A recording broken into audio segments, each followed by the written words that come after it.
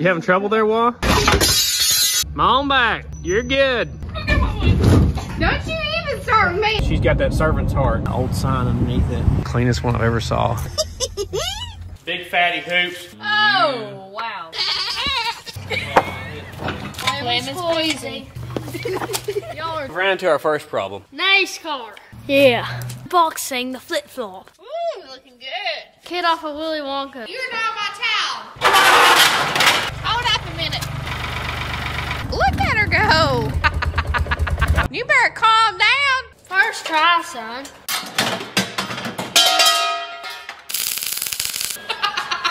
Today's the good day. Did y'all find your pantyhose? You missed your leave, bro. What are you painting? There you go. Oh no. Oh. Oh, oh Lord. Multitude of greatness. Always happy mountain. I am speed. Raymond's in the pool. We're back. Guys, it. How thick is this? That ain't gonna fit. Wind is a whipping. You know he's got the prize bar in. Where'd that come from? One, go. Letting it crust. Oh, wow. Solid. Gucci, Gucci, Q. Oh, she's putting the brakes on. Raymond's hard to video. Dang, son. Crazy world we're living in. He That's a big one. Mary and Joseph. How y'all doing? Squares around down. You even question me? Classic. Oh, She's beautiful. $87 camshaft. Burgers. And bigger. Is better. Come on. You are pretty.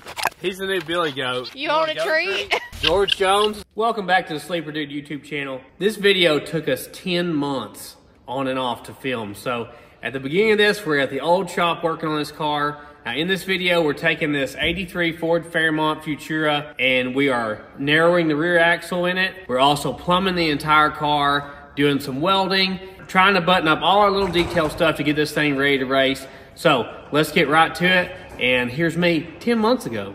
So it's a special day today. Wawa graduated eighth grade. She's off school before the other two. So we're gonna pull the rear axle out of the Fairmont and take it down to the axle shop down in Georgia. And if you can look right here, it's even bulging the casing out. So this rear end, I believe, is out like a 94 and up Mustang, so they have a wider track width. I mean, we could get custom offset hoops for it, but I mean, I would like to be able to have like a set for street casings, a set for slicks, and gotta buy a bunch of custom offset wheels. It's not cheap. With this right here, uh, we're not gonna be able to drive it with three kids in the back seat and a trunk full of luggage and fuel. So we're gonna pull this rear axle out. I've done a bunch of measuring and we should be able to narrow this five inches total, so two and a half on each side. And these hoops will fit perfect again. So that's what we're gonna do. We're gonna pull it out of here and head down that way. Lord, look how wide them casings is, Wall. I don't know if they'll fit even once we narrow this. See, we got like, I don't know, two, two and a half inches on the inside, and that's about how much is sticking out. You having trouble there, Wah? That is incredible. Here, you got it? Maybe. All right. Yeah, just don't pull out on it. These are like a standard offset 10 inch wheel. So that's the most common back spacing. It's pretty evenly split. That's why we're narrowing it five inches. So if we buy other ones, they'll fit as well. Yeah, look how slammed it is in the quarter. Wow. Full extension. Remember, two lug nuts is all you really need. Oh, Golly, look at that. That's crazy. I don't know. Those things might be 12 inches wide. They are a 295.50. I plan on running like a 275.60 on it probably eventually when I can afford some casings. We need to polish those up, don't we? Yeah, we do. Yeah. Good thing about this setup and part of the reason why I bought this car is if you look under here, it's already got disc brakes in the rear. It's already got aftermarket control arms, so it already had a lot of good stuff. According to the tag, this says it's a 273 gear with a posi. I don't know if it's been changed or not. We're about to find out. This has the air shock mod, which I guess they did to keep the casings off the quarter as much as they could. But you can see they've been rubbing like crazy under here. They've also rolled the lip on the quarters. We put a little bit of pressure on the jack to keep this thing from falling when I take the shock loose. What are you chickens doing? He's like, I'm just gonna come in the shop and check it out. See now the shocks are off of it. It can completely relax. Unfortunately, I gotta unhook the brakes on this one. I, I just don't like having to bleed brakes. We do it all the time though, don't we? Yeah. Sometimes if you have a bolt that's stuck, you can get a wrench that's smaller than the head and push while you do the impact. Right there, right there. When's the spring gonna pop out on us? There we go. There goes my ears.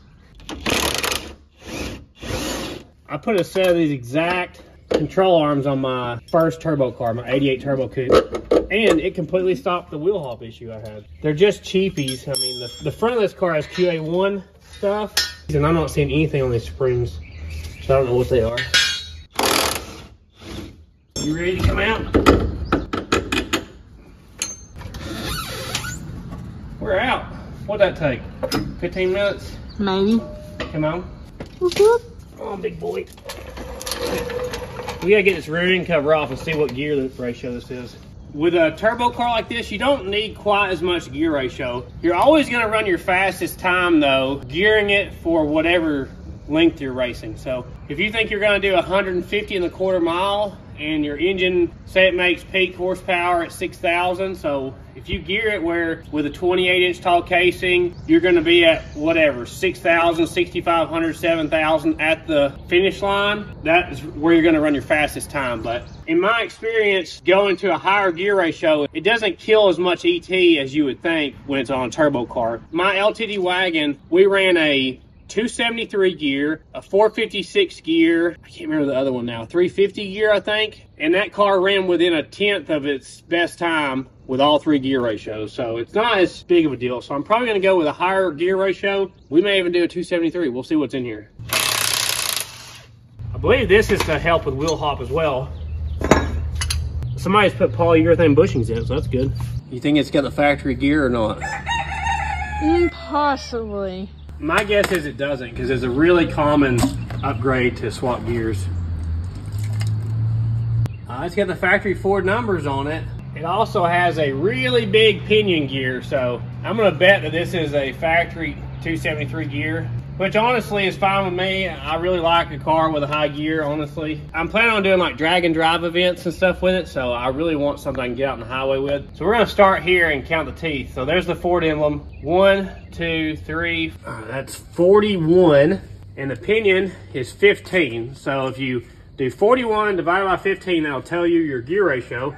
And this is a factory 273 gear. So I'll tell you right now, I'm gonna keep that gear. I'll probably lose a tenth or two off my ET, but also it may help us on the starting line because you see a lot of guys who have big power, big block turbo cars, and they might have like a, whatever, a 373 gear or something, but they take off in second gear, so their starting line ratio is, is not as harsh. Well, with having this rear end gear like this, that'll help our starting line ratio so it doesn't completely uh, spin right off the, the hit. So yeah, I'm gonna keep this gear. Because we're going to a bigger spline axle, we're gonna switch from this posi unit to a full spool, just like I've had in some of my other cars, like the Starlet, the Maverick, the LTD, they were all spools. This should be a 28 spline axle, and we're gonna step it up. I'm not sure what yet. We're gonna get to the axle place today. I don't know if it's gonna be 31, 33, 35, whatever they think is best. Do you think me and you and mom can load it?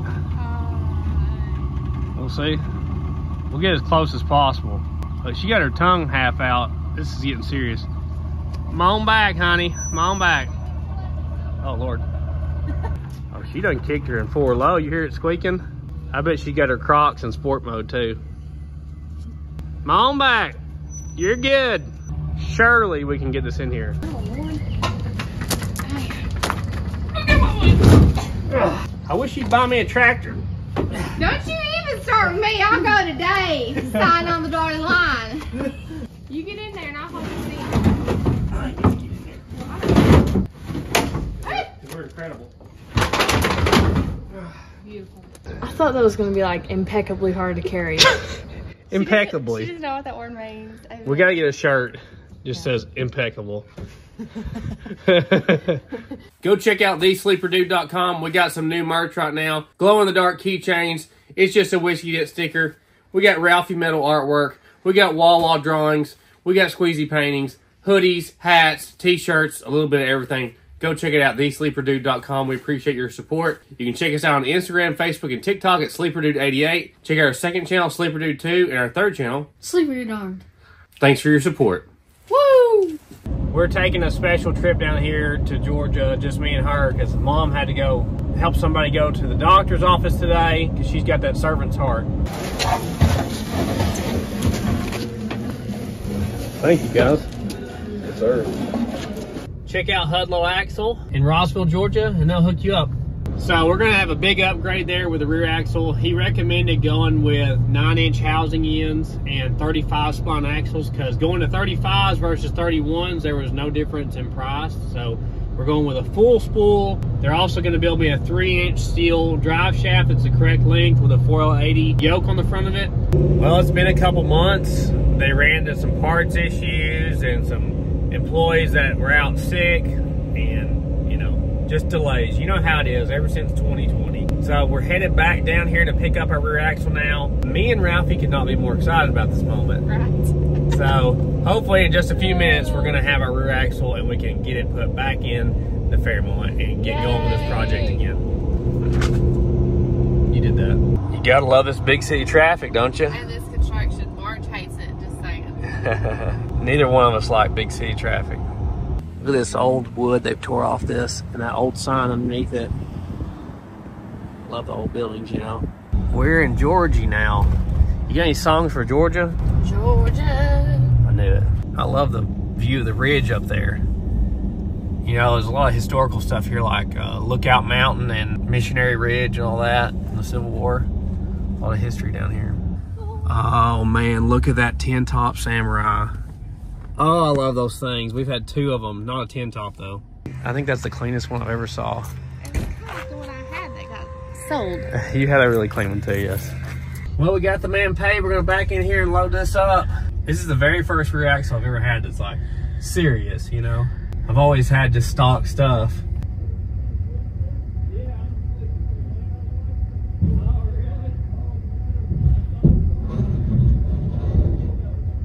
Can't go nowhere. Everybody recognizes Marge with that hair. wow, we got it loaded up. Good deal. Awesome. Hey, look, here's a 62 Impala. My dad would freak out. Look at that. Is she for sale? No, Dad wants a 62 bubble top, which has the more rounded roof. It was like the 61 roof on a 62 car. Got the big flag, so it's a 327 or 409. Just a quick trip to Georgia. We're already back.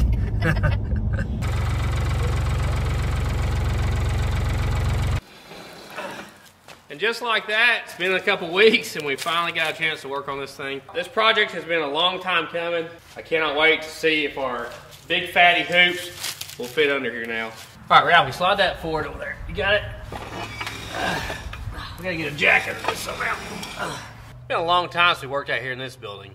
Yeah. Good times, man. Long time. If I had a dollar for every time somebody commented, hey, you should fix your entry into your shop.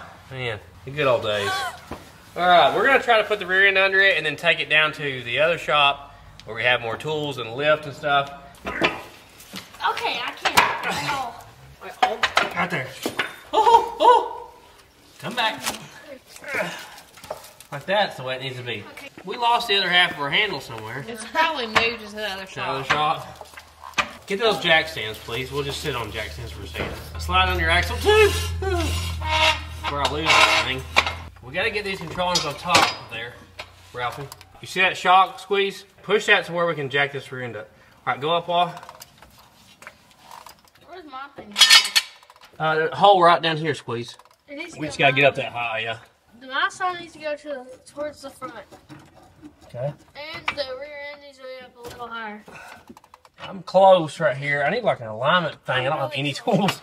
I'm really close. Okay, hold on. I, I can see Um, a little bit. I think I might can get a bolt in. Okay. Eventually, I'd like to put adjustable control arms and stuff on it, but these are better than stock, so. There you go. Look at that shiny aluminum cover, huh? That looks good. Yeah. It needs to go like down my way. If I do that, I think you can maybe get it in, Ralphie. Yeah, keep going. I it's all the way in. We're really close. Let me. Yeah. Oh, there you go. That was easy. Ralph, how excited are you about working on this car? 10 out of 10. He has literally been talking my ear off about this thing for eight months or whatever since we worked on it. Bring the jack around here. The handle will come out on you. Oh, wow. Okay. And the rear end's still going down. All right. Up, up, up, up. Oh, stop. All right. Go back up. Babies. Hey, babies. There you are. Oh, Murphy. There you are. Hi, guys. Hi, Rocky. Hello, pretty girl. She's like, the old shop? We're back over here? How you doing?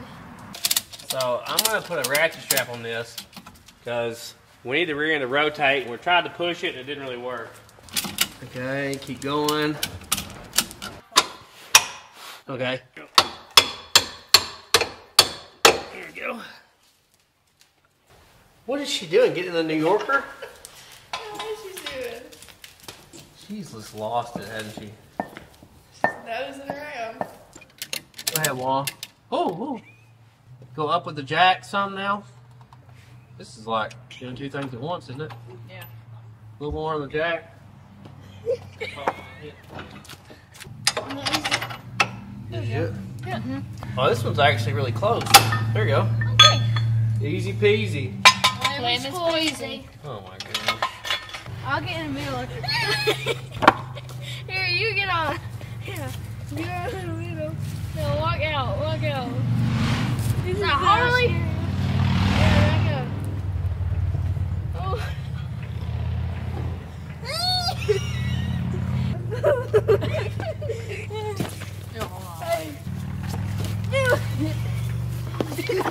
Y'all are destined to Here, fail here. with this. Well, we've ran into our first problem. Uh-oh. Our shocks will not mount back up because the caliper has moved in two and a half inches on this mm. side. So that means we're gonna need. So we're gonna have to make new mounts for our shocks, it looks like. That's not too big a deal. We'll probably just take it down to the other shop now. If our hoops fit, we'll deal with it there. What if we like welded a tab on, kind of a big one, and just welded it out and put a hole? That's literally what I was thinking. Okay. We're all on the same page now. And this was the point of all this work was to try to get a 10 inch wide hoop to fit under here.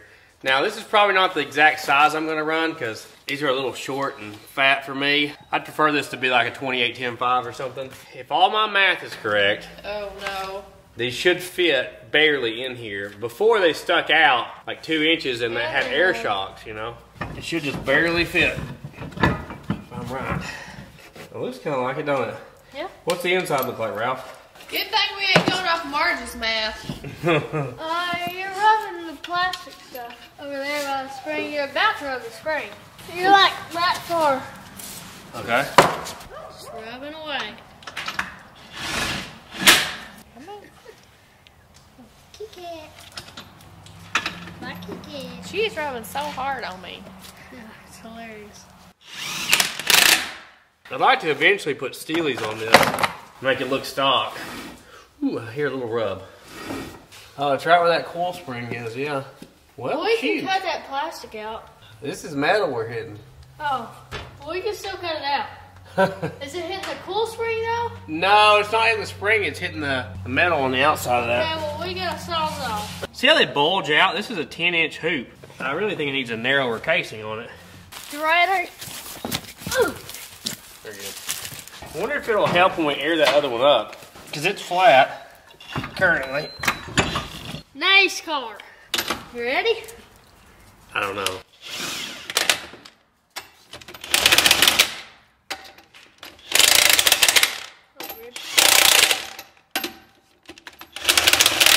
That may be a record.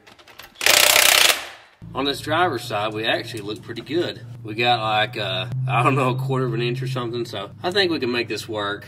And you can see, it's about flush with the outside of the quarter panel. Man, look at that, it looks good on there. Yeah, I love a big wide casing on the back, skinnies in the front. You like it, Marge? Looks good. Yeah. I like it. All right, let's sit down the ground for the first time in a long time. Last time we worked on this, I didn't have braces. Look at that hair. Sorry. Coyote Peterson. Today on Coyote Peterson, we'll be unboxing the flip flop. There's a lot of overhang in the back of this car. Look how far that rear end is from the, the rear of the car. We've been needing these jack stands and jacks for months. Wait, you mean you put Jacksons into your car? Yeah. It's funny, the comments half the time ask me, where's the jack stand? It's like, it's under there. I wish you had a longer handle because I'm still under the car. Don't knock your head on it. All right. Oh man, it's been a long time. It looks so good. now what's the clearance? Hey, we got about like one, like two inches. Really? Yeah, on this side. Oh, Oh. it looks so good. Yeah, that looks great. Because usually the car's set up high because the air shock. Oh, Okay. Oh, what's that? Oh, ow. Oh, sorry about your fingers. son. Here, don't jump. Don't All right, jump. no jouncing. There you go. I can't fit my finger between it. But Well, you that need was some flat, air. You need some air in this one. Which Oh, might make it which might make it worse. That squat's so easy. It must have some like four cylinder springs under or something. Well, they looked very thin. Like I could just push push it a little. Yeah. Hickey. Well, I think I did my math pretty close. I mean, it's touching inside now. It really just has two wide of casings on it. Is Yeah. that a thing? Is that a real thing? No.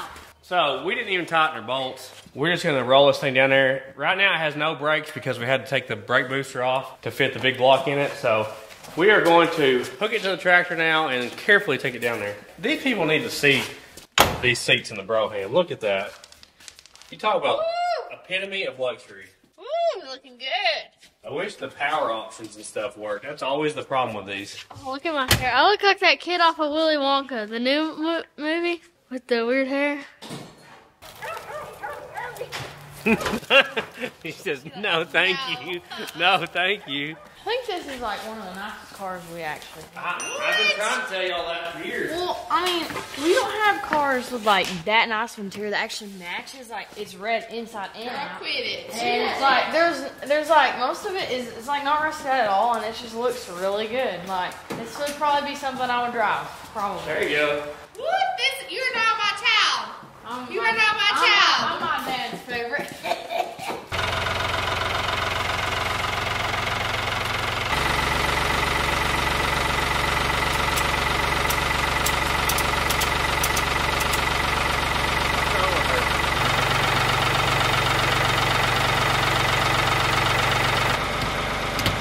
Red ears?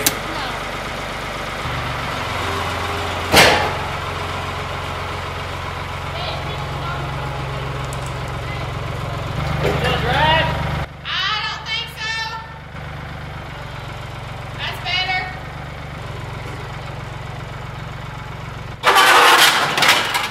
That's something like that. Hold up a minute. All right.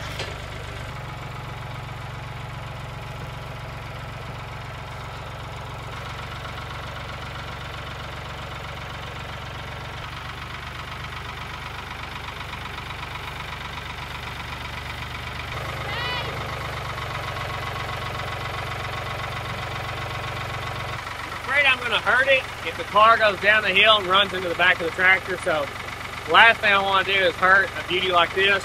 We're going to take all the care we can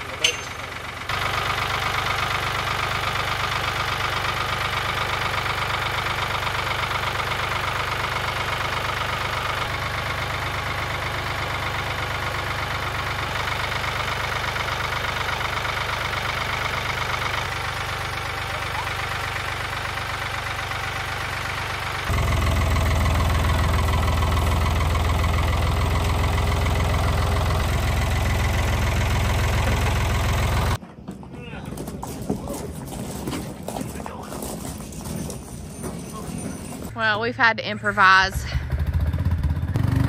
Oh! The Papa, wait, look at her go! Straighten it up. Straighten it up.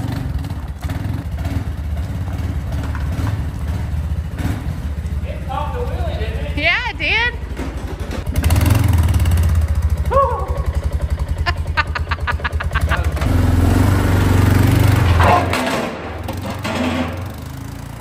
you better calm down. I know, I was ripping, wasn't I? First time this car has been in the building. Woo! Well, it wasn't that bad to put the rear end in it, but man, it was more job than I thought trying to get it in here. Yeah, for sure. Mainly because I was so worried about hurting it, because it's daddy's baby. Oh, This one and the 63 Falcon are my babies, for sure. They're my two favorites, if I had to pick favorites. Ralphie's airing our casings up here. What's that we got in it, Ralph? Zero. Zero. Okay, that's good. Man, I just love the looks of this car. It may not be for everybody, but it's definitely for me. So if you don't know from before, this is a 454 big block, stock crank, aftermarket rods, aftermarket pistons, twin GT45 turbos from eBay. These are like 150 buck turbos a piece. Chinese 50 millimeter wastegates, I believe. No blow off valve because we don't really have enough popping to have to have it. It's got an $87 Summit Racing camshaft flat tappet hydraulic. It's got a set of Chinese Speedmaster heads that have been ported by somebody before we got them.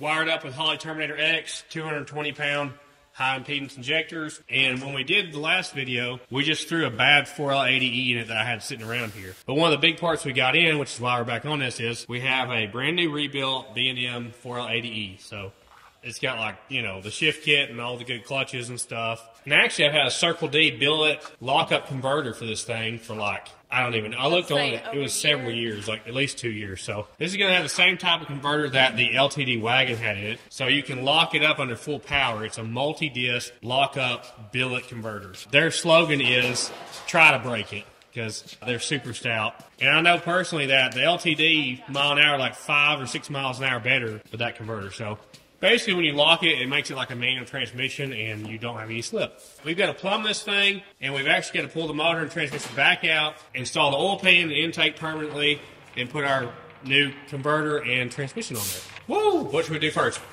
Plumb it. All right, let's do it. So we got a bunch of hoses and fittings here. I got a whole bag full of Earl's fittings.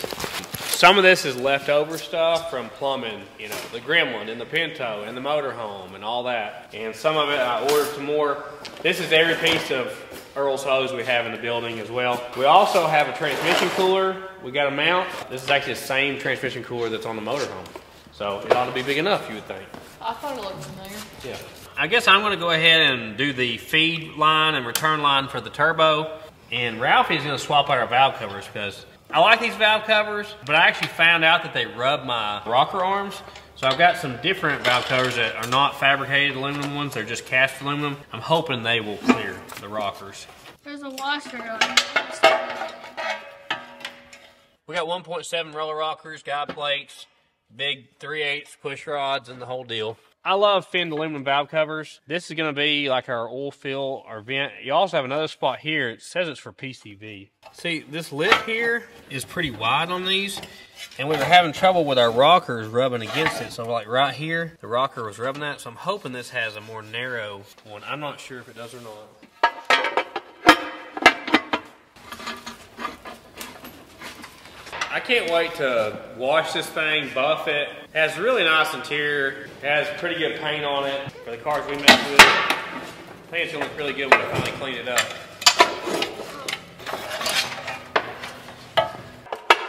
Oh, I like that better already. Yeah. The semi's gonna clear better, doesn't it? Yeah. Yeah. If you had stock rockers, it probably wouldn't be a problem, but I like that look, don't you? Looks great.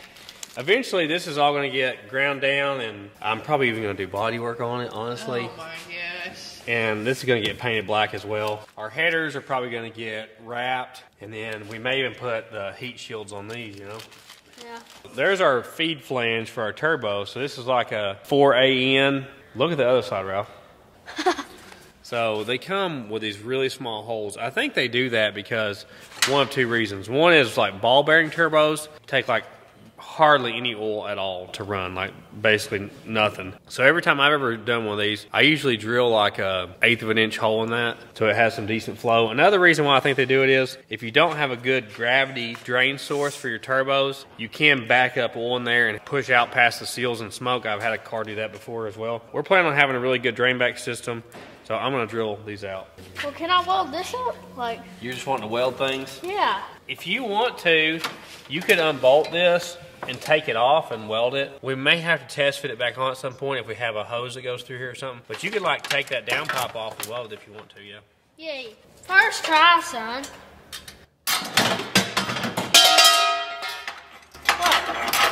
What did you do, Ralphie? It just fell. I didn't think it was that loose. So I just had to weld that thingy up. Oh, where'd it go? I'm joking. I got it. That looks really good. looks really good. Well, um, yeah, keep it up, buddy. looks good. Tells me to stop. I think today's a good day. Is it? All I can say.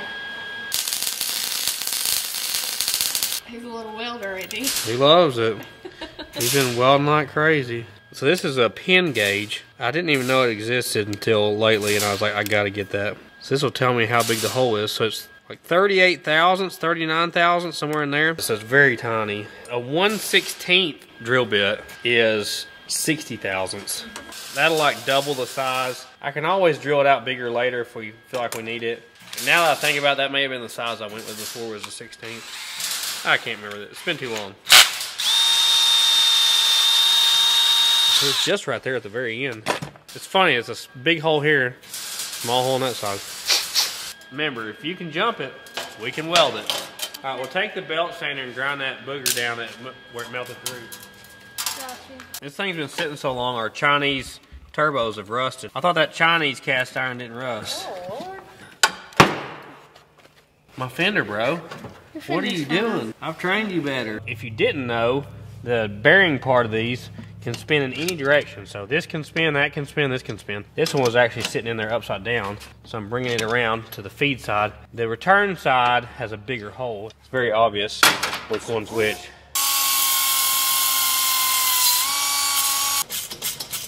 Them girls already abandoned us. Yeah. Had to go buy pantyhose. Really? Can you believe that? What kind of excuse is that? Not a good one. Look at them things. Very nice. Doing good, bud. You're learning. Yeah. Of course, Ralphie can't help it. He's got to clean the corrosion off the intake there. It gets really damp in that other building compared to over here. So this is a Dash 4 9 degree fitting is what we're going to use. We're using the Super Stock line, which is really easy to assemble, which is why I use it. So the actual size of this hose is quarter inch inside diameter. It's actually rated to 250 psi, which we won't have that much oil pressure. This table is like wobbly. Yes, it is. See how flared out it is? It's a really tight fit on there. That keeps it in there. We're gonna screw this on here and try to route this back to a oil pressure location somewhere on the engine. I'm gonna kind of point it towards the engine block here. Does a big block Chevy have an oil passage at the top of the block in the back? I don't know. I thought they did, but maybe I'm wrong. I know it has one down over there somewhere. The eventual goal of this thing is to have a really fast street car that maybe we can do drag and drive events eventually with. Fastest I've ever been is 599 at 120, and I would like to beat that time. I would really love to run like 570s because that means you can run an eight second quarter basically. So it looks like I don't have one up there. It looks like the only thing I have is way down here, right above the oil filter. There's a, looks like a quarter inch pop plug. So I'm gonna pull it out. And we're actually gonna have to split this off three ways. So two to the turbos and one to our oil pressure sending unit. So I found this four way junction here for a quarter inch pipe thread. I think that's what we're gonna use. Did y'all find your pantyhose? We got it, yes. Good deal. Good deal. We were worried about it. it's about bedtime now, isn't it? Yes, I'm so sleepy already. Yeah, we got a really late start to videoing tonight. We were working on another video, so. Yeah, we had to put the rear end in it. This was a push button, mo boost button right here. It's electric solenoid, bleed the signal off the wastegate on the Starlet. Tell you, leave something. Just went, "Meow." We'll leave that fitting in there. That'll screw right into the block. We actually have ample room, surprisingly. I'm telling you what, look at you with your fender covers and all this stuff. I was just thinking earlier, he sat something on the fender and I was like, oh, what are you doing? They're all used to us working on like cars that are total junk. I'm actually worried about the paint on this, so I thought, I got a fender gripper somewhere around here and I had to find it. We'll probably face the sending unit straight out this way. So I'll put my quarter inch to dash four fittings on the side and then we're gonna have to reduce it down from quarter to eighth inch pipe thread for the sending unit. I'm gonna have to get some thread sealer on a so that'll go like that that'll go in there and then this will tee off to my turbos now we're gonna install this tomorrow because we gotta go to bed. It's getting really late. As much as I want to work on this thing, I know Ralph and me both are ready to pull small knotters on this thing, but he's got scoot tomorrow, so we will see you guys tomorrow. Raymond's out walking around tonight. You missed your leaf, bro. Walked right over his leaf. Exactly. He's just a little guy. He looks big that close. But Ellie's wondering about him. We're going way back tonight watching Citizen Kane. Have you guys ever watched that old movie? All right, we're back out here next day. Uh, Ralph, do you want to look at making radiator hoses for this thing? Are those the same size or no? No, not at all. Not even um, close. Okay. The bottom one looks like it's going to have to go across, and this one's going to have to go this way. This one's not too bad. This actually rotates, by the way, if you oh. want it to. Maybe you could go get the tote of radiator hoses and figure that out. I'm going to finish up making our little junction block here. So I've already sealed up three sides of this. I've got some tape here. It's not the white Teflon tape that's made for like water. This is actually made for like solvent-based products. Just being honest, I don't have a lot of experience with it, but I have tried it lately and uh, had good luck. We want something that's going to last, you know. So this will give us a oil pressure reading to our Terminator X. I can set up a safety in there if I want to, kill the engine if the oil pressure gets below a certain point, or make it light up on the dash if we get into like a warning zone there. So it's nice if you use it. We're gonna get this Dr. Seuss looking thing down in here. I hope there's got enough room for all this. These Fox body cars have a surprising amount of room in the engine bay. Like the old Falcon platform stuff and the early Mustangs have really tight shock towers compared to these. That's a couple of the big things that draw me to like 80s cars is they usually have disc brakes and they usually have wider shock towers, but they're not new enough yet to have modern things that make a headache out of the whole deal. All right, there you go. Not even close.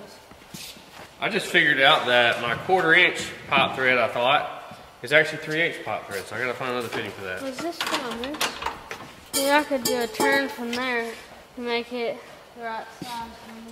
So unfortunately, I don't have anything here that goes from 3 8 male to quarter inch male. So I'm going to have to make my own deal. Uh, I'm sure we could go to town and struggle for hours on end. Maybe piece together something, but I just don't like going to town. Any of y'all that way? So I'm just gonna make it right here. Okay. So this is a quarter inch NPT tap. So this gives you a chart on what size hole to drill. So we gotta drill a 7 16 hole in order to thread this in. Well, that was really close to the right size already. Now, let's make some threads. Sounds nice, doesn't it? That should work. And if it doesn't, we'll go buy one at the store when it leaks, when we get the car running. Hey, can I like cut this right here? Um, goes that's a little too small, bud. It's the only thing I have. We may have to get some pipe and make something, huh? yeah. We may be able to get a flex hose at the parts store that goes from that to that if we know what the distance is. Maybe. But that's I a pretty tight turn. This looks really nice here. It tightened up. That works really great. It's Uh, pretty tight. Mm-hmm. That's uh, electrical conduit, yeah. That was a good effort. Yeah. It fits that? No. Kind of. Can you find a hose that's straight and then curves and then you can just put a short straight piece of metal in there? No. Maybe. Huh? at that. We would like to one day try to get a shorter intake set up, maybe fit this under the stock hood. Every option I've found so far will not fit. That's fitting right. Look, see now you can just put a short piece of metal in there. Well, I'd have to cut that or something. Yeah, you're right. We're gonna have to cut this back some. We should have some sort of short piece of pipe there to, to fill in this gap, Ralphie. The only possible problem we might have is there might be a issue with this being the highest spot in the cooling system with an air bubble or something. They do make like remote filler necks for radiators. We might could get one of them to go in here. Um, How long? Three inches? yeah, it doesn't have. Well, I mean, yeah, probably like look like right, right there. four. But you need to figure out what the diameter needs to be. You don't need to wing it there, wingman. He's pretty good at winging it. So you need an inch and a quarter outside diameter. Right there. That is not a measuring system.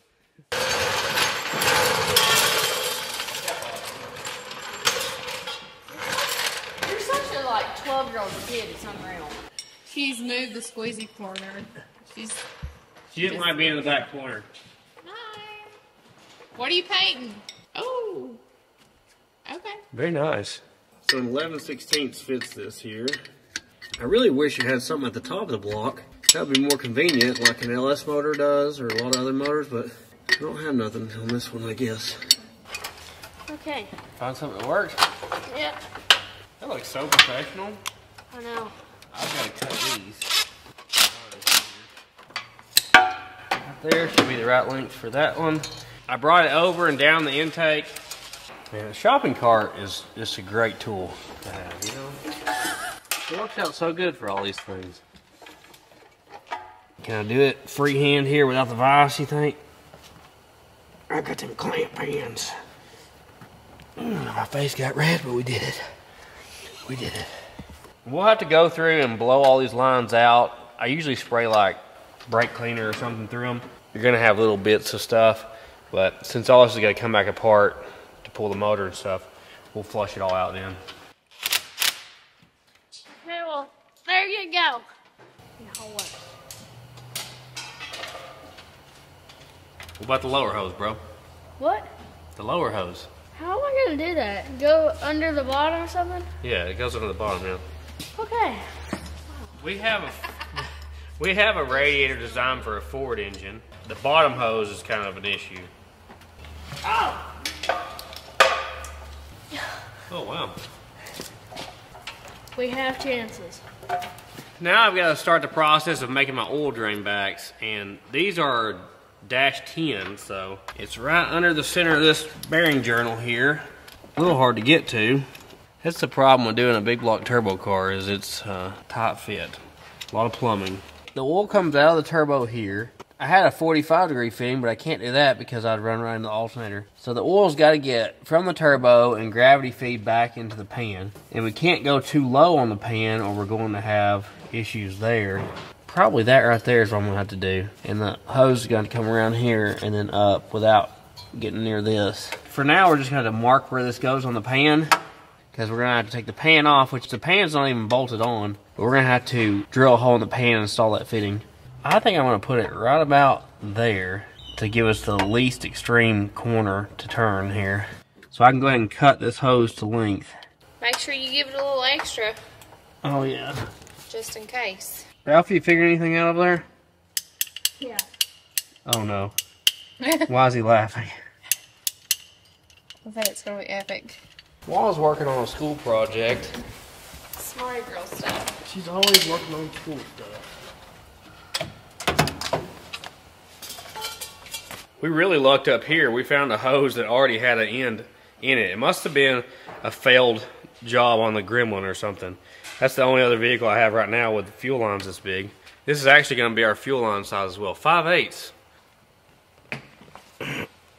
Well, that was easier than the little ones are. It's not bad at all. I guess I'll go ahead and flush some of these out. I said I was going to wait. That right there ought to give us a pretty straight shot. We're just going to have to have something here. I may have to make a bracket, something that bolts there that keeps it off of that. That should gravity drain back nicely. When I very first put the big block Ford in the Maverick with the turbo, it was a big Detroit diesel turbo and it smoked like crazy because when the drain back went over the frame rail, it went uphill just barely. You can't have any uphill with these. Got it all set up, don't you? Yeah. Man, do I have an idea for you, Marge. Oh no. Nobody wants to drill in their oil pan, but we have a fuel pump block off plate and that goes to the crankcase as well. So I'm gonna drill a hole in it and that's gonna be our return line. It makes the line only about this long too on the passenger side. Cool. Yeah. So we can go all the way down to there. So somewhere about like that. Be careful with the bit. Remember how this went last time? Yeah. Okay, you don't have to put a lot of pressure. And don't put any sideways pressure on it. Oh. Our bit may be no good. Let me get you a better bit. You got one eye squinting, Mama. Yeah, I got one eye squinted. That thing was about to be in half. Oh! There you go. You did a great job. Hmm. Appreciate that. I'm gonna do the big in here. Oh, Lord. Oh my, wow, that's huge. That's the correct size for a 3 8 tap. A lot of engineering out there. Yeah. Kind of like that. Okay. So we're gonna take that to the store and see if we can find one that all one piece like that right there. So that'll fit? Yeah. Isn't that genius, Ralph? We don't have to drill a hole in our oil pan, possibly. Yeah. So what else should I do? You can see the spark plug wires fit we got for it. Okay. So you always want to wrap this stuff in the correct direction. I always remember this because we were working on my dad's 63 Impala when I was a kid, doing the fuel system. One of the neighbors was talking to us about making sure we get the right direction, and I've always remembered it. It's funny how you learn things from certain people, and then that's the person you think about the rest of your life when you do that, usually, you know? So here is our return line, right into our fuel pump hole. That should fit right on there now. How'd that drive with a screw in the end of that? Look at that, it's like a witch's hat. I know you want oh, I to. have it. Yeah, here, you can have it. Ooh. Oh, is it that bad? Oh, you broke it, Ralph. Here. Thank you. Okay, well I got the spark plug wires on. Eight and a half millimeters. These are MSD superconductor, eight and a half. It looks like we're gonna have to get a different coil wire because that coil wire is an innie, not an outie. And we need to set up for an an outie. If they point at each other, they should drain back pretty easily. I really did not expect this to be this short. That's gonna be super simple. That may be the shortest dash 10 one I've ever made. Straight ones are easier to do because they don't turn on you like these ones. there we go. The vice jaws really help.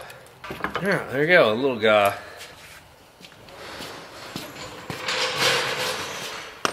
So we were actually looking for these parts yesterday. Finally remember where I put them.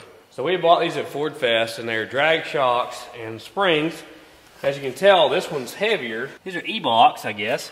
And this will be your right rear. So a common practice back in the day was like, you might buy a football and put it in the right rear and pump it up to keep the car from squatting on the launch. Well, serving the purpose kind of like an anti-roll bar does. So I bought these for like 10 bucks. It was nothing. The guy said that 60 footed really good on them. He was a serious racer and just had moved on. So Ralphie's gonna swap these out for us. So this one will go in the right rear because that's the way the car flexes, okay? Got you. Like right here would be perfect. Just don't get the hose, obviously.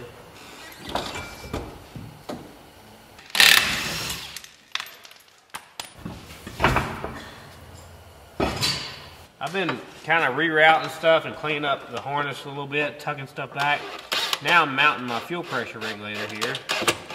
So we're gonna have a dash 10 feed, and then this is gonna be our outlet that goes to our rail, then a dash 8 crossover. The return is gonna be right here. We got a dash 8 return back to the tank. There you go. Watch your big head. Hey, I ain't got a seven and three eight oval. Long oval, long. Oh my gosh.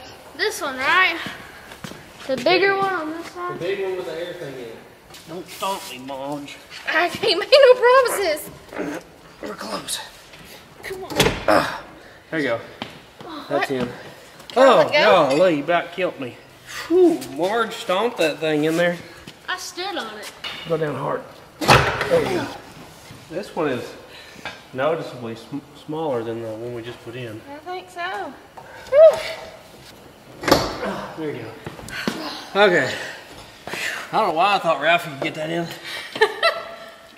myself. These are probably just some stalkers, I guess. I don't know. I don't say anything on them. Lowrider, huh? There you go. That make it easy for you to work on, bud. Yeah. Ellie. Now.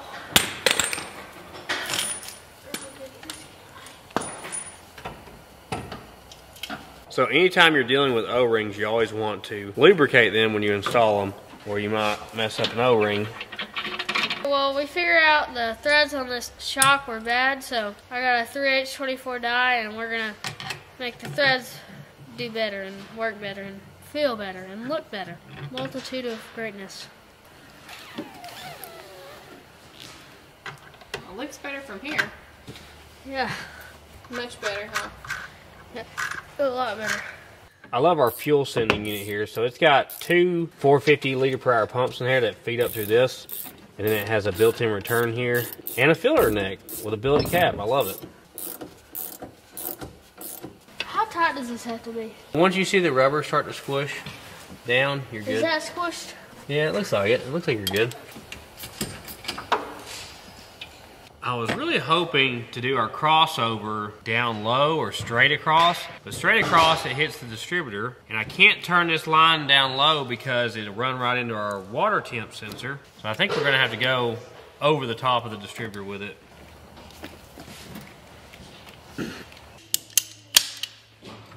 Well, that's how it's gonna have to be right there.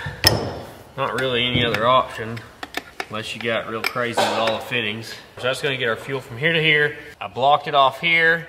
It's got a dash 10 inlet here, dash 10 outlet there. I'm gonna have to get two nine degree dash 10 fittings that I did not get, unfortunately.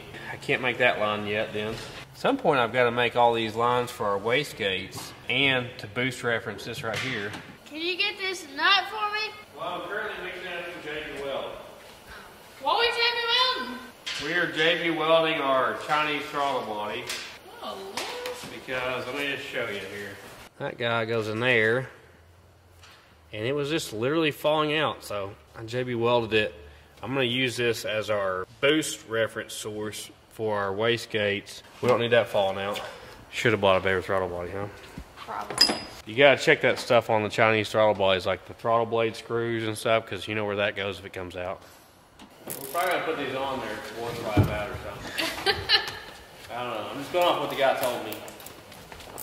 Okay. You get it? Yeah. So this is what I'm gonna use for all my boost and vacuum sources. What is that? It's just an eBay vacuum boost log, whatever they call it. So I guess you could use it for fuel if you want to. Yeah. So basically, I'm going to take my reference from here and go into this, and then I'm going to split it out to my wastegates, and then if I have anything else, I'll have options for that too. Since our rear axle was shortened, it moved the caliper over, and these lines and junk are all in the way. So we're gonna have to make a mount to make that go to there. This line was pushing the shock over, so it was probably gonna have issues. So we bent the line over a little, and now we can just drill a hole through this to make it work. We just need a hose to go from here to here, and then these guys will go out to our wastegates. That looks clean, huh? Yeah, looks good. Don't scratch my anodizing now. It actually came with all the plugs and stuff to plug everything off, so that was nice. I, I think these are like 20 bucks on eBay. But that's gonna be it for tonight. Uh, if you haven't figured it out by now, I try to edit during the day while they're at school, and we come out here and work in the evenings together. So I guess we'll see you guys tomorrow. Shoo! I am speed. Raymond's eating. Raymond's in the pool. He jumped. I said that. We're back! Alright, next day, y'all gonna mount the shocks, right? Yeah. So that looks like it's gonna be more simple than we thought it was. So on these wastegates, there's two ports here. There's a lower port and an upper port. In between those is a diaphragm. If you put boost pressure to this, it actually tries to open the gate.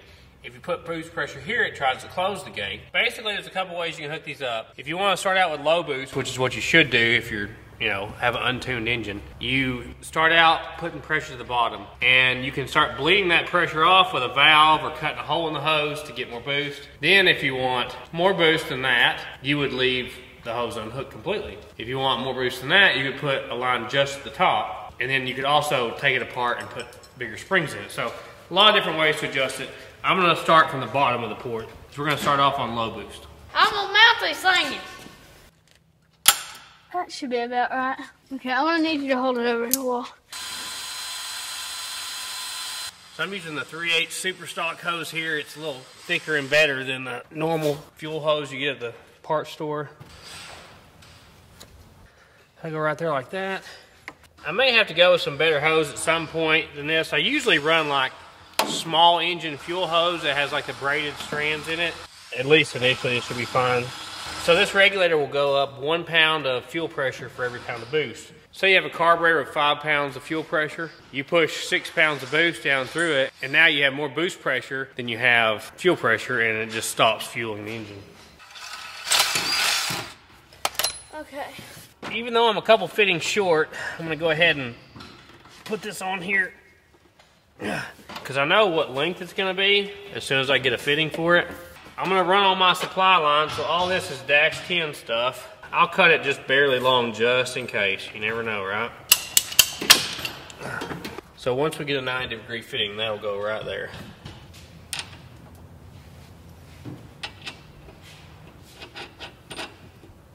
I'm gonna put this back through here. One nice thing about running your exhaust forward is you don't have headers and stuff in your way back this way. But we probably will put some sort of heat shielding on this where it gets close to the header or at the back of the engine. Think there'll be enough fuel? Should be. Looks like a garden hose on it.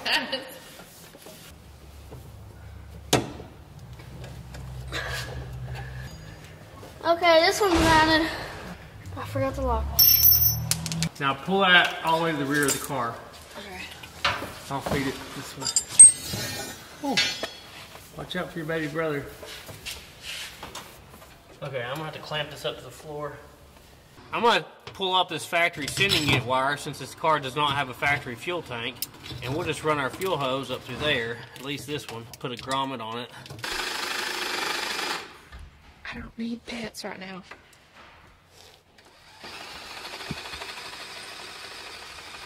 Guys, sit.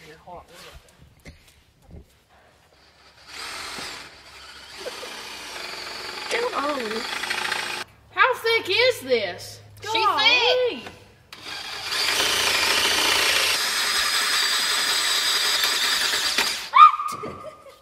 It's just a grommet, it's not food. It's not food, Ellie. She's licking her lips. Come here. This hole ended up being like oval shaped, so I'm gonna make it round. Only drill bit you need right there. What just happened? Hold that there. There we go.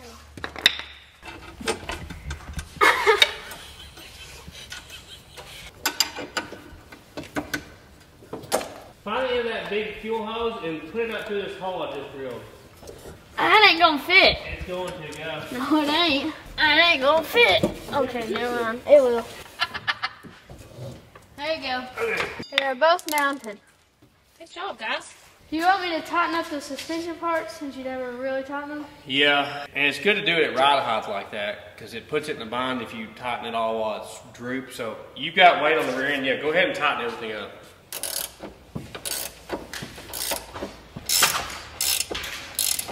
All your rear suspension is tightened and mounted. Thank you, sir. Wind is whipping. I was literally thinking the same thing. Literally Whipping out there, ain't thinking the same thing. Literal? We're using these little clampy guys here to hold the fuel line to the floor. Alright, I got it all tied up to the floor now. We just gotta get our 90 degree fitting here. The factory fuel lines are still under there and the factory fuel filter. So if you want to unbolt that whole bracket, fuel filter, and take all the factory fuel lines loose, that'd be great. Now I'm moving on to the return side, which is dash eight. What in the world? Where is this going? Right up through here. There's a huge fuel line. I This see other the- huge no, fuel no, line goes where it goes. I see the fuel line. That's not the problem. It goes you up right here up. at the corner with the Oh, engine. oh, oh, oh, oh. Where oh, my oh. hand is. You get it? That's it. Not yet, I haven't. I'm pretty sure it's right there, buddy. I know, but my hand can't grab it yet. You haven't pushed it up far enough. Oh. That's it, thank you. You know he's got the prize bar under your car. Oh no. Be gentle, Ralph. Be gentle.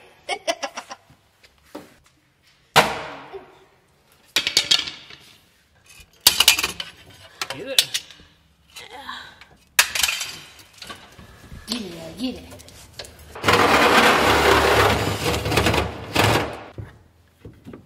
Oh!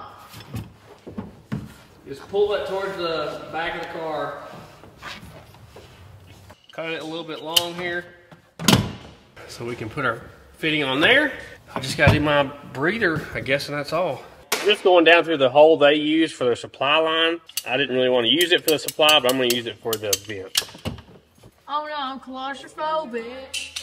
Oh my gosh, I'm being squished. I'm gonna try to do this one in the car.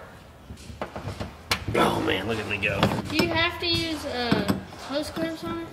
I usually put clamps on them if it's a really high pressure situation, but you're not supposed to have to, no. It says you can if you want to. Usually I do, especially on like uh, transmission lines and stuff. Why is our list for what we need to get from town say Japanese on it? I was wondering what that was. I was like, why does it say Japanese? I don't know how in the world you pry this off here, Ralphie. Wow, this is absolutely incredible. What, what are you trying to break loose? I hope you're not taking my brake lines loose or something. Wait, wh- which one? That's not the brake line.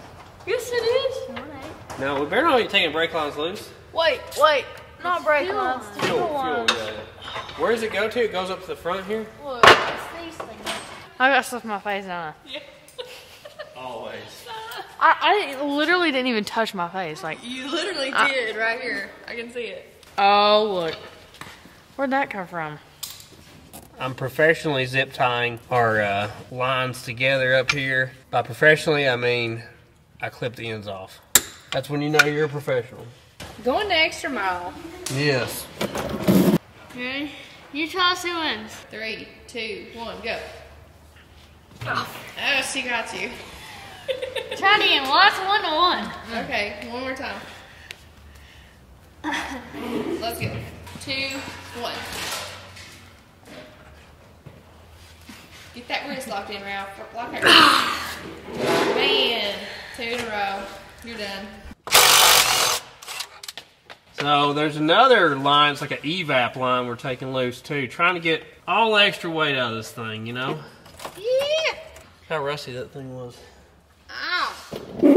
Ow, she crusty. She lets it crust, huh? Letting it crust. Here's that line, Ralphie. I don't know where it goes to. Don't touch the car. I did not. Okay. Some of these clamps are riveted to the floor. Time to cut them. All right, Ralphie, that should all come out now. Keep going.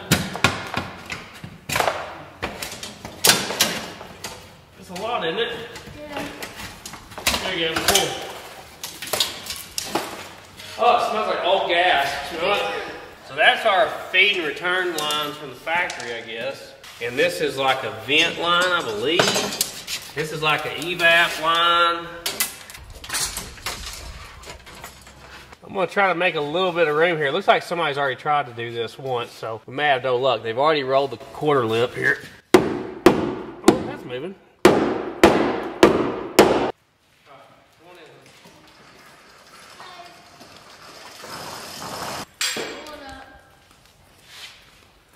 I guess y'all already put the hoops on.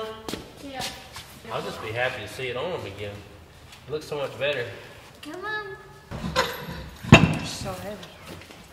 Okay. Hold on, buddy. Look how brittle the factory lines were. They just snap when you bend them.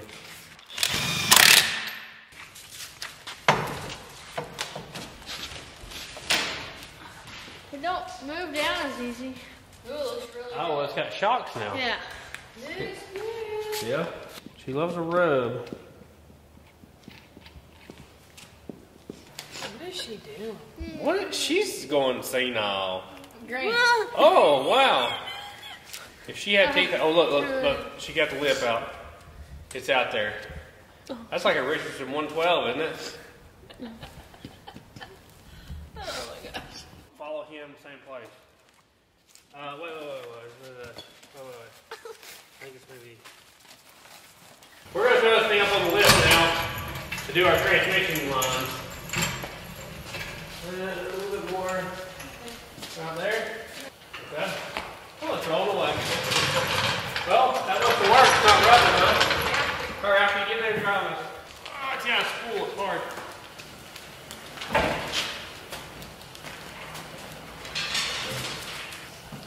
Yeah. Hey. Uh, put it in park. Set the parking brake. There we go. Be careful.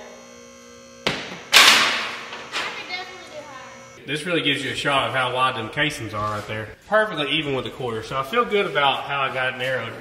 It looks like it's dead on. And it seems like it's doing better now that I beat on those. I'm sure we'll have some more rubbing, but like I said, I'm gonna switch the size anyway. This will give you a better shot of our suspension setup. This is our feed, our return, our battery cable goes down through here. This is our transmission crossmember we built in an old episode.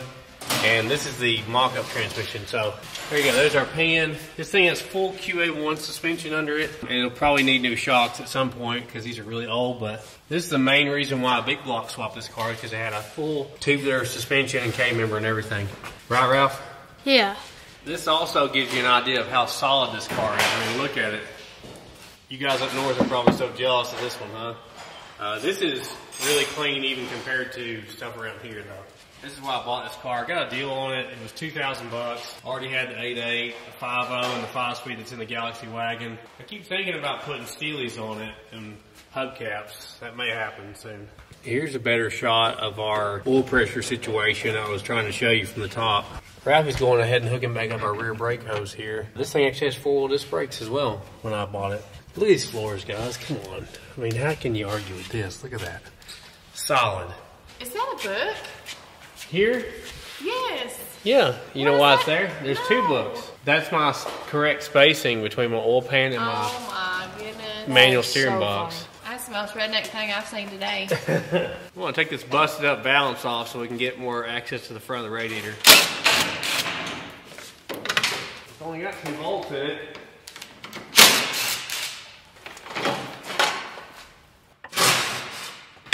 Okay, that's tight. Here's our B&M transmission cooler. It's a plate style instead of a tube and fin. It's like twice as efficient as the normal ones you see at like the parts store. It would have to be twice this big to be a tube and fin one and get the same cooling. This has a built-in temperature sensor. Once it gets to 170 degrees, it turns this fan on. It's a really nice setup. It's worked really well with our motorhome, so we're gonna do the same thing here. I think I am gonna mount it up front, I believe. I don't know really where else to mount it. It's got four different mounting tabs here. I bet I can just bolt it to the bumper right there. I'm thinking right there. You're gonna be blocked a little bit, like that much by the bumper, but I mean, it has a fan on it, you know. Uh, okay, let me drill some holes. So right about there. These cars actually have aluminum bumpers. It's one of the cool things about them. Now the LTDs didn't, because my LTD wagon had big heavy bumpers, but these Fairmonts have aluminum ones. There are holes drilled. We got some 5 16 bolts sticking through the bumper. Got it? Yeah. Are you familiar with Gucci Gucci Goo? No, no, no, no, No? no. No Gucci Gucci Goo? That's a negative Ghost Rider. Oh, the hole in pretty good, huh? Look how solid that is with just two bolts in it. Like, you can't even move it. Yeah. I think uh, we'll call that good. Yeah. I might put some zip ties on it later. I gotta wire this in. I'm not sure if we have more channels on our solid state relay or not. I have to look. We'll probably wire this in while the engine's out because we gotta pull it still. It'd be a lot easier to do that. So, let me make sure I have enough line here. This is some of the line we actually used on the Pinto. So here, hold this right here, Wall. Our transmission we're actually going to use has a different fitting locations. There was two different styles of these 4L80s. I think it's like 97 and older and 97 and newer. So we're to need that much to do one of them. Yeah, we got enough line. We got three or four feet too much. So let me show you how these go together. I'm actually going to take this black coating off of here. It just peels off really easy. They sell this in stainless or they sell it in black. And I had bought black when we did the Pinto. But since I have, you know, the old red, white, and blue fittings, I really don't want a black hose. So this is Earl Speedflex hose. It has working pressure up to 1500 PSI and 450 degrees Celsius. You can see it's like the liner in there is really tough. So that's why I'm using that on the transmission. You wrap it in tape and cut it so it doesn't fray. You want to get this back on here, this collar, okay? Get that all the way past all your frays and stuff. This collar here goes in between the stainless and the what appears to be Teflon, I think. push it in until it bottoms out in there. Get it up on your fitting like that. Bottom it out. And then and this tightens up on here. That's what you get when you get it all together. Super tight fitting. It's not going to leak on you. Going to be able to hold whatever kind of pressure. You can even use these for power steering lines and stuff. This is like aircraft quality type fittings here. But that's going to be it for tonight. I'm going to finish up making these. It's starting to rain, so y'all aren't going to be able to hear what we say anyway. I got to get some parts tomorrow. I'm going to try to get a radiator hose and the fittings we need to finish up this plumbing. We'll see you guys tomorrow. Come on, we got to go. You can't live in the shop. Come on. Oh, she's putting the brakes on. Come on. Come on, Granny. Come on. Go get in the barn. It's raining. Okay, you ready? Go for it. Raymond's hard to video because he stops doing whatever he's doing anytime I get the camera out. Next morning, I got to go to a couple towns over and get the fittings we need that I didn't order correctly. It's kind of a cool place. They got like a dirt track shop there. It's like the only place anywhere close to me that sells AN fittings and stuff. Look at that. I got to drive like an hour to get this stuff and she just leaves it on dead empty for me. Dang, son, parachutes at the gas station. He must be getting the same fuel I am. Race gas. I would love to have a new Mustang like that. Every time I see one of those, it's like a 20 something year old guy. It's got every add-on you can think of, and I don't know how they afford it. Really. They're so expensive, just stop. But I do love them. We got our fittings. I bought some more clamps like we use on the fuel lines because they're hard to find, these big ones. Car with a parachute and horses in the same day. Crazy world we're living in. Well, I picked up Marge. We're going to try to get this crazy radiator hose that Ralphie made. I did have to take it to Japanese just like the list had on there, so uh, we got that done too. It was very good. I really can't believe I saw a car with a parachute and a horse-drawn buggy in the same day. You just never know. America, right? America. Full surprises. I missed out on Drive Your Maroon Vehicle Day. All right, let's go see if we can figure this out. So we looked around everywhere in there. Look at this bad boy. So this is for uh, F550 Ford, he That's said. a big one. And I got an adapter to go from a big size to a small size. And then we got like a suburban Chevy upper hose. So hopefully with all this, we can make it work and we can make Ralphie proud. Well, thankfully we made it back home with Marge driving. I'm gonna go ahead and throw together these couple fuel fittings I need to do. It's tough, but that's what you want. You want them to stay on there. But does it fit? Let's see. Oh yeah, dead on. I remember having conversations with my buddy Tommy at Hot Rod Hoarder. I was talking about, have you ever seen a big block turbo car? And me and him at the time hadn't. We'd only seen small block cars. It was before it became popular to do it. Not that it had never been done, but we had just never seen it. When I was doing like my big block Maverick turbo, there just wasn't many around. If you like torque, you really can't beat a big block turbo car. At some point, I've got to figure out a way to better mount this fuel cell. It was just sat in here and strapped in, but I like that it's a big one because I like fuel capacity because I like street cars, but I got to figure out a way to mount it at some point. These ones that are on the car are a little harder to do. You need to kind of do it all at once, it seems like. Mary and Joseph. There we go. So I got that transmission line on here now. There's enough room there to go between the radiator. I'm gonna end up tying these up to the frame rail here and I'm gonna cut these guys to length here. So this transmission has two inlets and outlets right here at the front. But if you go over here to our new transmission, it's got one here and one there. So I think this is 97 and up and that one's the older version. So I'm gonna make sure and make the line reach all the way back to here. And with those fittings that are so tight like that, I don't think we'll have any trouble with our transmission tunnel. Definitely not the back fitting. I don't think so at the front either though. So I'm gonna put some tape around this and cut this. Ooh, watch out. Now I'm gonna go ahead and wrap the other half of this line back up through here and cut it because I know we have more than enough.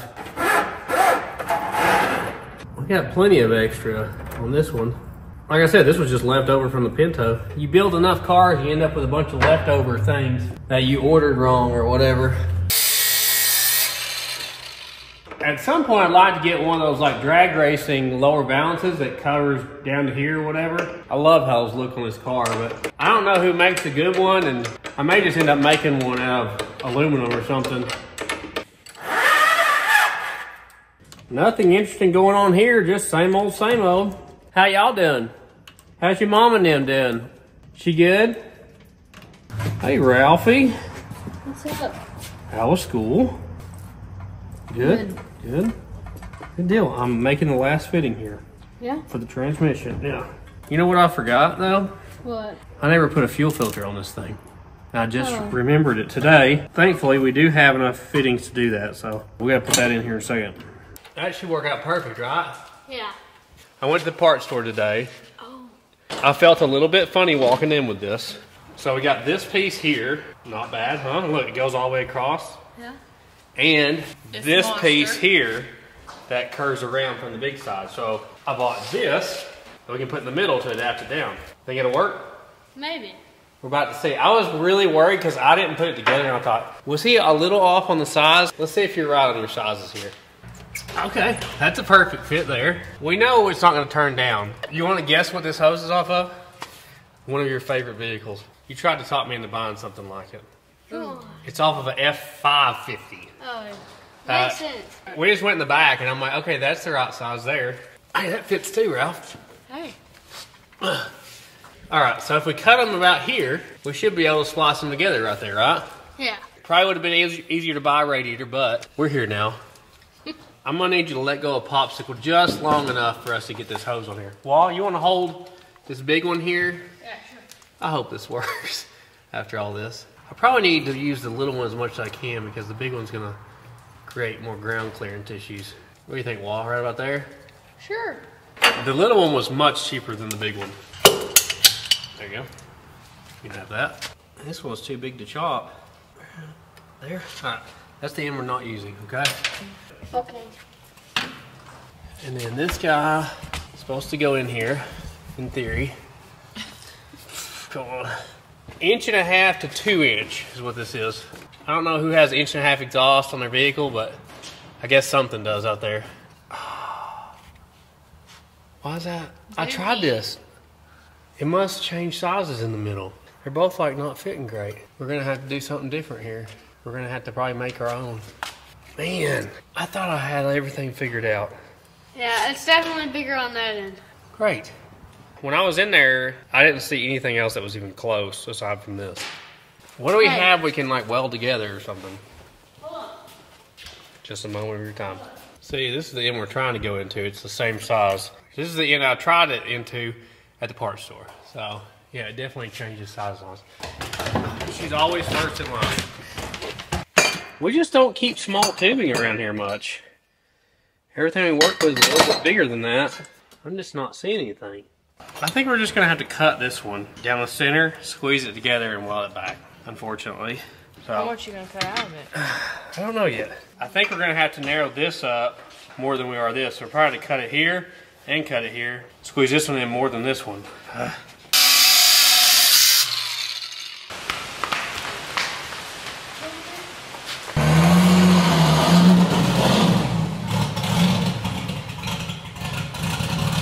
Thou shalt not get rained on. It's got a small leak in the back floorboard on this side. I don't know where it's coming from. I don't let it get rain on anymore.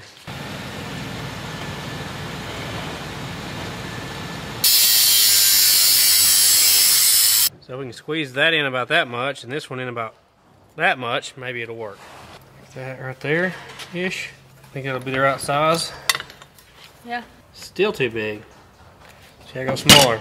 How's the other side the right size? I think it'll fit. See? Yeah, it will. Yeah, that's better. Yeah, it needs to be tight in there. Yeah, that'll fit. Sometimes you just gotta make the part. I think that's still too big.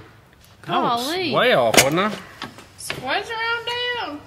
Okay, like four cuts later, I think we're finally there. I think it was definitely more than that. They don't have to know that, son. Yeah. So, if I've got it right, should work. So now Uh, you gotta weld it? yeah, I gotta weld it up now. I thought he might be going duct tape it or something. Oh wow, duct tape saves, saves everything.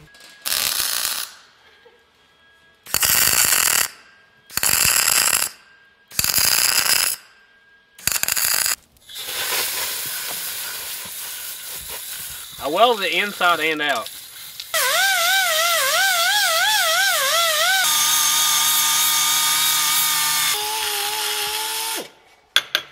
Guys, I'm going to say something I've never said on this channel before. Oh, what is it? I think this is my Mona Lisa. Look at that beauty, huh? It's pretty. It is. I don't see no baked taters. I know it's going to restrict flow a little bit, but we'll see how it goes. Sometimes you don't want the water going through super fast. Doesn't get enough time to cool down, is what I've heard. Oh, okay, right there. Boom. There goes your leg. And there goes your leg. You may have to zip that up a tie it little up or something. Yeah, we got plenty of spots to zip tie it. If you're wondering, we have a brand new SFI harmonic balancer put on it. We just hadn't put it on there yet. I think that's going to work great. Woo! You did good on your measuring, Ralph. You even question me just I'm brings sorry. my heart down. I think we've got it all plumbed now. Yeah. All the radiator hoses, transmission lines, oil lines for the turbos, Feel like- fuel lines, boost and vacuum lines. They're all run, aren't they? Yeah. You know what we haven't tried though? What? The drive shaft. Dang it. Oh, I forgot about We better it. Better try that before we pull this engine in the transmission. trunk. You're right. It's in the trunk. We got this thing made last year, and we have never test fit it. So it's got a 4L80E Turbo 400 yoke on it. It's a custom built drive shaft that Holo made. I told him this thing's gonna have all the donkeys. So come on, why is it not? Is the spline so rusted the up? stuff's jiggling in there. This is just a core. It actually sat outside in the rain before I got it. We may have a lot of trouble getting it to slide in there. Maybe that'll help it a little bit. We always try- Inside there look okay? I mean, it Oh, looks I'm so but it still needs it. You got the big shot on me, bro? Hey, it still smells good. There. you. Just needs a good push. It's going, but it's going real slow. I felt it, dude. You know, and push, Yeah. I don't want to get it where we can't get it back out. Look. it'll definitely work. Yeah, if it went in about an inch and a half, two inches, it would be.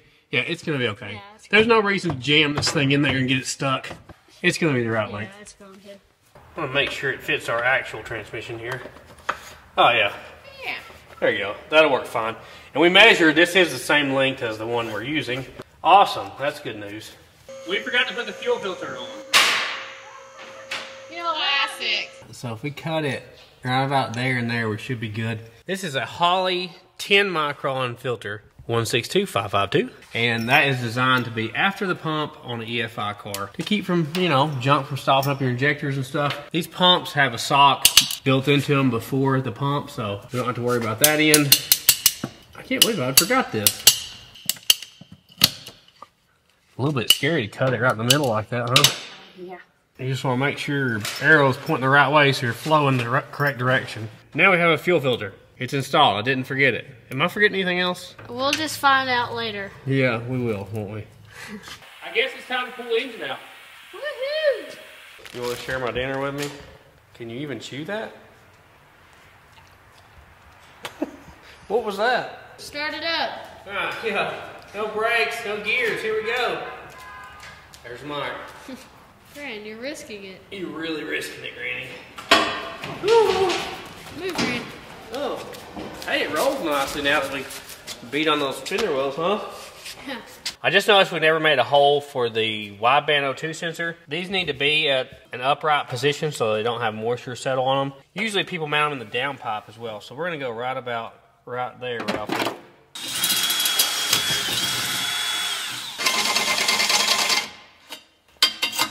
Okay. There you go. As much as I hate to see this thing come apart, it's for the best. We got to pull this engine out and get our oil pan intake and everything bolted back on. So let's blow it apart, Ralph.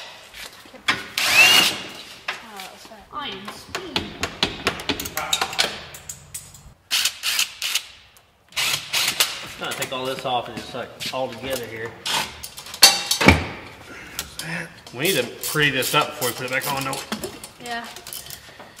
made it all nice and smooth in there. If you're wondering where Wa is, she went to a Bible study tonight.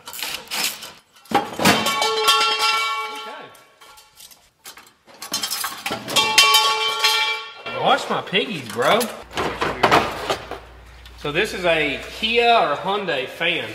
It's pretty beefy, boy. I think it's about an 18-inch fan, but I don't remember exactly what car it came out of, but something back when I worked in the body shop.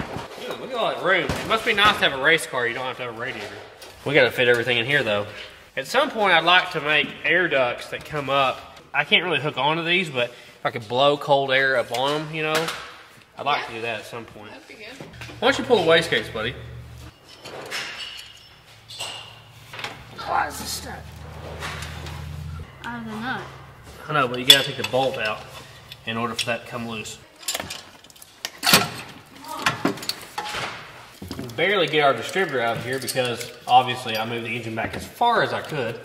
Looks like I'm gonna take the cap off and get that out. So this is a dual sync distributor, just like we have in our motorhome. It provides a cam and a crank signal to the Terminator X. So it's super convenient if you're swapping something over to EFI. The way we set this up, we have our manifold air pressure sensor and our manifold air temp sensor right next to each other in the back of the intake, trying to keep everything clean looking. It's all streamlined. Oh, Oh, no, no. no, you did not get my hair. Oh, man. oh, she's smelling again. Granny, if you knew what you look like with that lip out. She's so pretty. she's beautiful. This is our auto air control. This is our TPS sensor here. This is a 102 millimeter throttle body on a Dominator flange EFI intake. A set of 2,200 pound injectors in it, so we should be able to make all the donkeys, even on ethanol. If you haven't seen the whole build, these are actually Lakester headers, like a street rod header, that we, you know, they normally go out like this. We cut the tubes and brought them in, and that's how we did it. Is it really that big? What? You brought them out like Oh, sorry, sorry. I may have exaggerated there. Right there is our coolant temp sensor. I always try to put the sensors on the back of the engine if I can, if I have an option. It just looks a lot cleaner. You already have a lot of lines and wires with a EFI turbo car anyway. It should be able to come off now. Look at them 320cc cylinder heads. Those are super big. Yeah. Didn't you pour them even more? No, I didn't pour them. Somebody else, I believe, poured them before we had them. We gotta make sure we don't get no junk down there. I probably need to take these off. If you didn't follow the build with the engine, which this engine build happens to be the most popular video we've ever done on the channel. I think it has over 2 million views now. I will say I did a couple things I would do differently nowadays, but this engine really needed to be bored. I just did not have the money to really do it at the time, so we just honed it and threw some pistons in it. It's got dome top pistons. It's got aftermarket H-beam rods. These are Speedmaster 320cc heads that have had new valves put in them and valve job imported before we own them. They're kind of mystery heads, so $87 Summit Racing camshaft. I'd love to put a roller in it one day, but we're gonna try it this way first, see how it does. Wait, did you say $87 camshaft? Yes. What? Yeah, it was $87 the cam was. Eventually, I'd like to make it a roller cam motor. Maybe put some name brand heads on it and see if it goes a lot faster or not. But right now, we're gonna see how far we can go on this cheap setup. We might need to make some braces to go over to the block from here, even though it's a super short distance. These are T4 flange turbos. I'm a little worried about this engine because it sat for like two years, so, and not the cleanest environment. You got the header out there? Yeah. Don't get them up close on them welds. Do not do it. Don't do it. We'll header out there. Cool. Look at them things. Nothing but baked taters. Boogers. Hey, they'll never know it going 120. There's our other turbo. These GT45s have a kind of funky V-band flange size. Easiest thing to do is what I've done to them. This is just a standard four inch V-band clamp and I welded it to the housing itself. So I'm gonna weld up these headers, but first I gotta get the paint off where I'm about to weld right there. This one is an even tighter fit than the other one. You can see how close to the frame rail this side is. Look how short our primary tubes are in this thing. It was very hard to make this fit. We may have to actually modify a little bit right here and here for the plug wires. I'm gonna see when I get the engine out, but I guess Ralphie can weld this one up too. This one's done. Looks pretty good, buddy. Yeah, I just love fin valve covers, like the old Offenhauser valve covers and Mickey Thompsons and stuff. I just grew up reading every car magazine I get my hands on, and stuff like cylinder head design is so interesting to me. And like these have raised exhaust runners, really big ports. I always wanted to put aluminum heads on my Maverick when it was big block turbo car. And just never was able to do it. This is like the engine I wanted to build for it back in the day. It's really exciting to me to do like an aluminum head, high compression, twin turbo car like this. I think we got it ready to pull aside from our two motor mount bolts and our transmission cross member. I tried to leave as much as we could on the motor because there's no reason to disassemble it, really. There you go. Have to jounce it, son. Yeah, jounce it. There you go. Okay. Let's go. Just don't drop it down the engine, that's all I ask. You got it hooked? No, I don't. Okay, good deal. We're ready to go. No, I'm not. All right, let's do it. I'm not. Wait. All right, we're ready to hook this up. We're not. Wait. Do you need me to do some beefy welds on that? Probably. I'll gladly. We do have to weld these motor mounts in better. They're just tacked in place. I got you. Thanks, bro. We got the starter wires loose and I forgot. You're lifting the car up. Yeah, it's because it's heavy. There you go. Now it's not. All right, I gotta get the bolts loose from this transmission. We should be good. I'm so proud of my cross member. I think this part was the old bed frame we used. Oh my goodness. If you knew how many engine transmission mounts I've made out of old bed frame, yeah, there's a lot of them. There you go. Oh, our catalogs fell out. See, what do we got under here? I was gonna say, which ones did you use? We got a Miller Welder book and a Auto Source Today book. The two thickest ones I had laying in the house, so yes. Make sure I don't break something, Ralph. I don't remember if we've actually pulled the engine with the pan on it. It's got a nice pan on it. There you go. Ooh, bouncy. Honestly, it took way less time than I thought. Pull it. Yeah.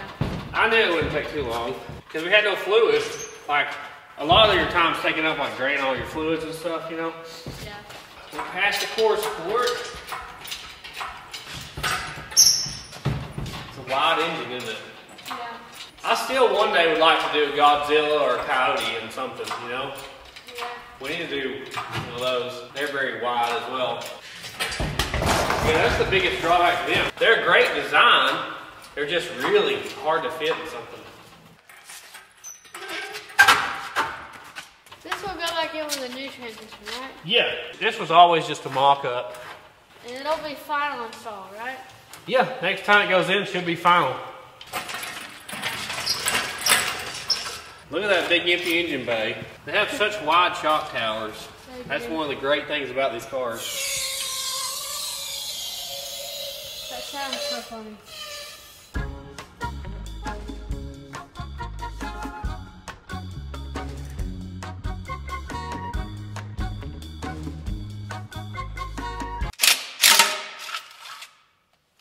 Yeah, a guy gave me this transmission.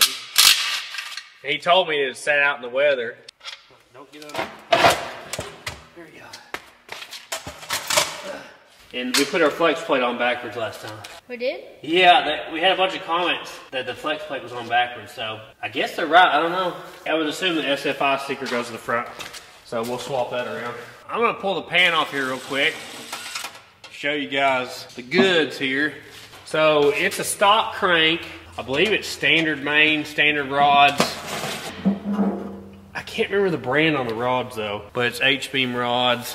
I believe we put a high pressure oil pump in it. I don't remember if it was high volume or not, but you can see there that they're H-beam rods. It's a four bolt main block, which I honestly didn't remember till I just looked at it. These blocks are good for a lot. I would not say they're as stout as a big block Ford block is, but they're still really stout. I guess we're going to end it off here tonight. It's getting really late. We just wanted to get this thing out. We'll see you guys tomorrow and finish this off. Next day, look at all this emptiness in here. Look, look at all this room though. Huh? All kinds of room. I actually measured my Super Coupe and the shock towers are about two inches wider on a Fox body Fairmont versus a MN12 platform Thunderbird, if you didn't know. I know there's six people that are dying to know that, and I'm one of them. I wanted to show you guys a comparison real quick though. I just happen to have a 4L60E and a 4L80E sitting right beside each other. You don't always get to see stuff like this right beside each other. Look, the length is like, is that identical? It's really close. Like this one, I think maybe just a tiny bit longer, like maybe an inch or something. So if you didn't know, these are based off of a Turbo 400. Turbo 400s came in, you know, big block Chevelles and stuff like that, and three quarter and one ton trucks. So that's what this transmission is based off of. They basically added a gear to it. So now it's an overdrive version of a Turbo 400. This is based off the Turbo 350, which is a lighter duty transmission. So I always go with the beefier, heavier transmission because you can spend a lot of money and make something that's smaller hold up to the power, but usually it's cheaper to go with the heavier duty factory transmission. So there's just a side by side comparison. I don't know all the spec differences, but you can see input shafts bigger, output shafts bigger, the, pan. case is bigger, the pan is bigger.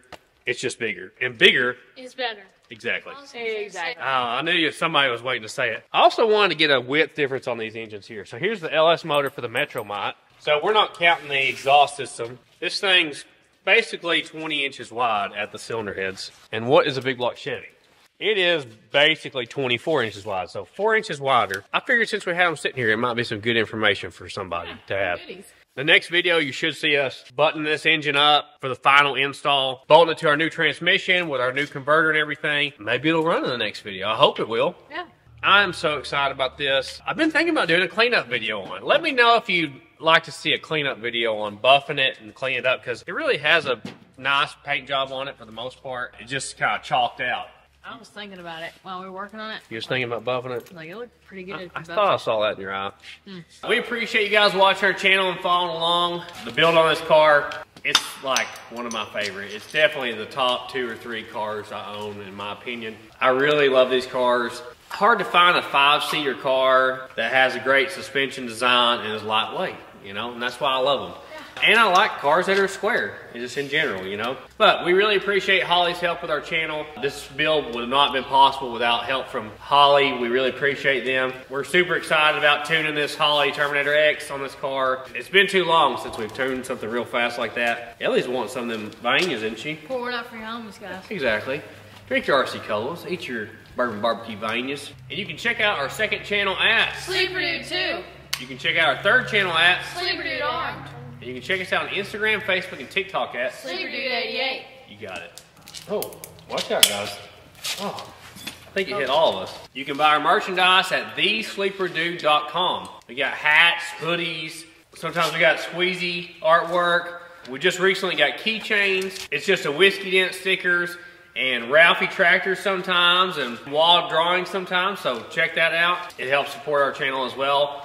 Uh, all that stuff gets shipped from here and is done right here in-house by us. Oh man, Dr. Shuttle. Dr. Shuttle.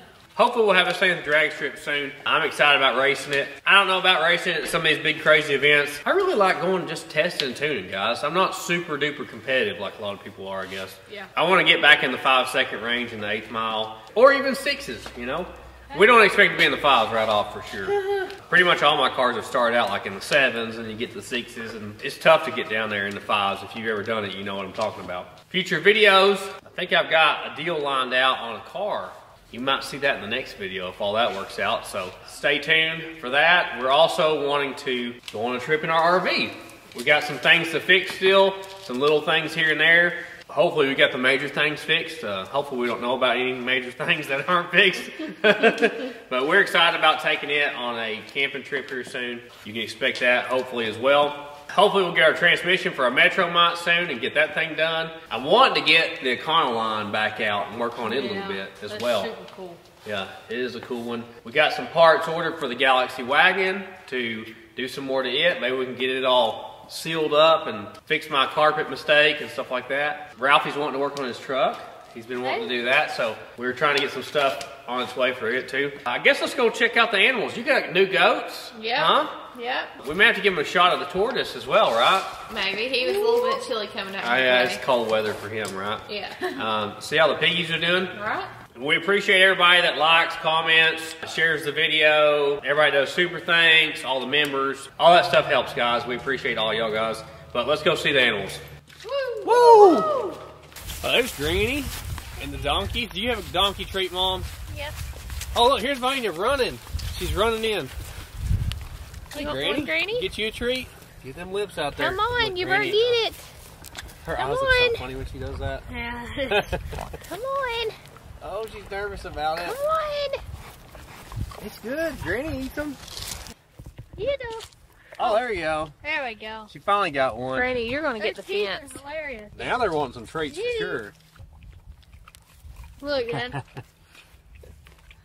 This one's the mama, right? Yeah. Yeah. She's more cautious than the oh, daughter. wow. Here. Come on, we got your RC Cola for you. There you go, girl. Mm-hmm. A lot today. Yeah, she got a bunch. Oh, okay. you eat off the dirt in about three seconds. Oh, yeah. I think she's losing more than she's getting. You are pretty. Maple, here, you want a treat? Here. I ain't put my finger in there, I know that. you That's a big treat. There So- you oh, that go. tastes like Daddy's finger. Oh, yeah, that's good. They just grunt and grunt, don't they? She's talking to you. I know. Talk back. She's like, stick your finger in here, see what happens to it.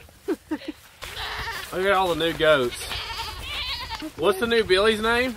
Haven't named him. We don't have a name for him yet, It's but Frederick. he's the new Billy goat. Because if you didn't know, Rocky's been fixed long ago. So Rocky's had a bunch of babies, but since we're keeping them, We can't have the we- daddy. yeah, he had to be fixed. So mom wants some more babies, so she got a new Billy out here. Oh, you got a treat? Catch him to make one. What are you doing, huh? Are you being in trouble today? Look, he jumps on all these goats. Let's see. You want a you, want a goat treat? treats? They're good goat treats. He's like, yeah, I'll eat He, it. he'll, he nibbles on the goat food, Oh, doesn't he? Oh, yeah, you can't feed them. He eats it too. I mean, you can feed them, but he eats all Yeah, of yeah. it. Look, George Jones is over here. That's so funny. It's so funny. I'm a good boy. He's good sometimes. Here, George Jones. He's like, Oh, George, look at that. You want one? So if you're wondering, there is only one Billy in here that's Yeah. not been fixed. That guy. I can smell him. Yeah, you can smell him from a distance. it's a Look at him. Here, Billy. You want some? Yeah, you gotta get what? mine if you want Wall. Okay, hold on. Let me Hey, get Rocky Jr. Murph. Murph, Murph. Oh, There you go, buddy. I'm a good boy. Oh, he's out. Where's he at? Oh, yeah, right there. Oh, hi, buddy. There you go. You're good, puppy. Ralphie thinks we need three or four more dogs, and oh, I don't think so. Calm down. Calm down. Basset Hound, Mastiff. No, no, no. Calm down. we don't need no calm more. down. Well, he's cautious. He's cautious. Cautious Carl, that's his name now. And remember, Jesus saves. And Dollar General's there for seven miles. Woo!